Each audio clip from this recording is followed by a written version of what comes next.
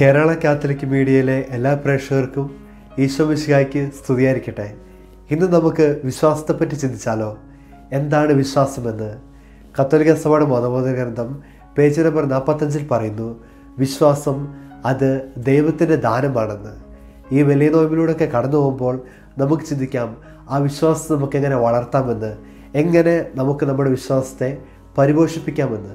കത്തോലിക്ക സഭയുടെ മതബോധ ഗ്രന്ഥം പേജ് നമ്പർ നാൽപ്പത്താറിൽ പറയുന്നു ദൈവവചനത്താൽ നമുക്ക് നമ്മുടെ വിശ്വാസത്തെ പരിപോഷിപ്പിക്കാമെന്ന്.